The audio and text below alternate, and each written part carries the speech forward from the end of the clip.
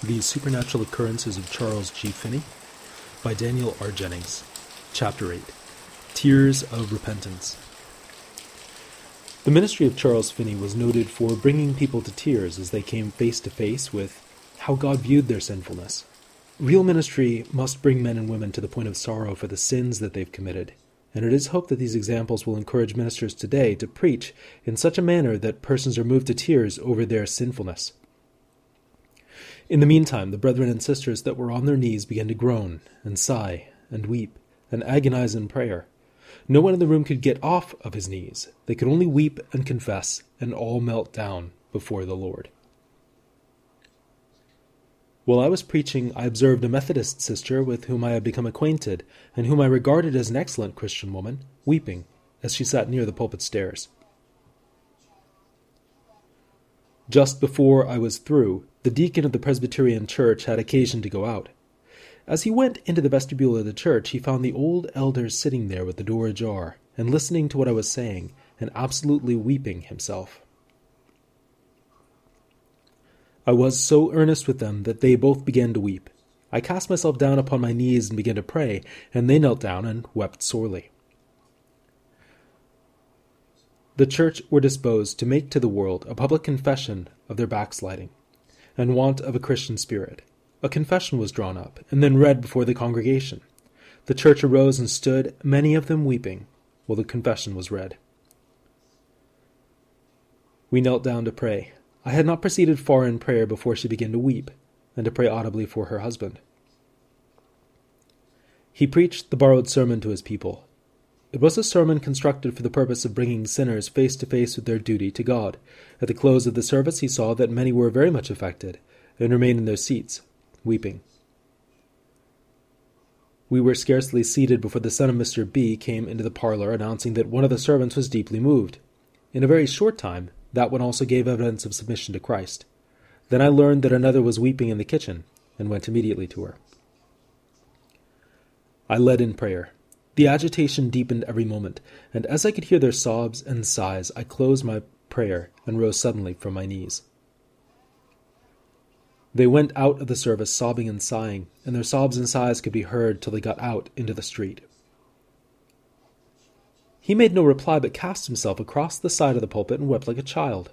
The congregation almost universally dropped their heads upon the seat in front of them, and many of them wept on every side. With the exception of the sobs and sighs, the house was profoundly silent. There was an awful solemnity pervading the congregation, and the stillness of death, with the exception of my own voice in prayer, and the sobs and sighs and weeping that were heard more or less throughout the congregation.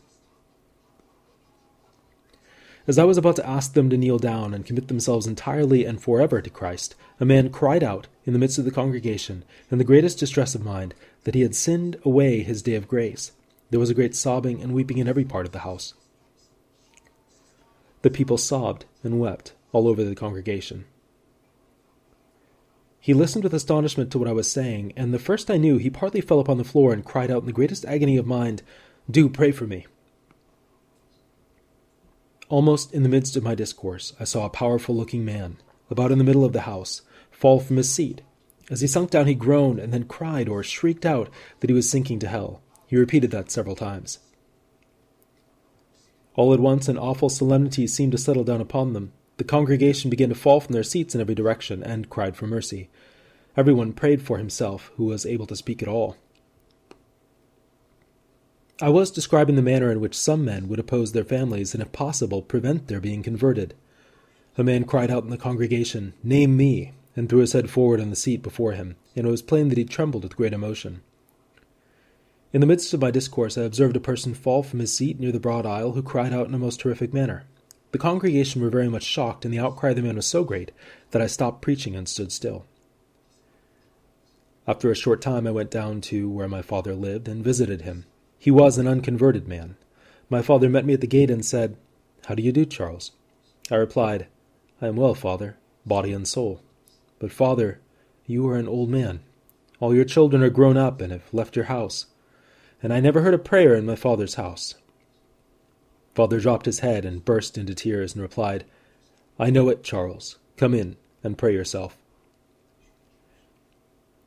When I came to dwell upon the atonement, and showed that it was made for all men, I saw his feelings rise till at last he put both hands over his face, threw his head forward upon his knees, and trembled all over with emotion. I saw that the blood rushed to his head, and that the tears began to flow freely. The people waxed very mellow, and the tears flowed very freely when I held up that covenant as still the covenant which God makes with parents and their household. The congregation was much moved and melted. When I was done, the people thronged around me on every side, and with tears thanked me for so full and satisfactory an exhibition of that subject. The elder, who was the principal man among them, and opened the meeting, bursting into tears, exclaimed, Brother Finney, it is all true. He fell upon his knees and wept aloud. This was the signal for a general breaking down. Every man and woman went down upon their knees. They all wept, and confessed and broke their hearts before God. The scene continued, I presume, for an hour. I went into the factory to look through it. A great number of young women were attending to their weaving. I observed a couple of them eyeing me. One of them was trying to mend a broken thread. When I came within eight or ten feet of her, I looked solemnly at her. She observed it, was quite overcome, and sunk down and burst into tears. The impression caught almost like powder, and in a few moments nearly all the room were in tears. This feeling spread through the factory. The congregation were very much shocked, and the outcry of the man was so great that I stopped preaching and stood still. He was weeping aloud like a child confessing his sins and accusing himself in a terrible manner. When I told the congregation who it was, they all knew him and his character, and it produced tears and sobs in every part of the house. I stood for some little time to see if he would be quiet enough for me to go on with my sermon, but his loud weeping rendered it impossible. I felt that the Lord was answering prayer. When I stopped praying and opened my eyes and looked at her, her face was turned up towards heaven, and the tears streaming down, and she was in the attitude of a praying that she might have been made a little child. As soon as she opened her mouth, it was apparent to everybody that a great change had come over her.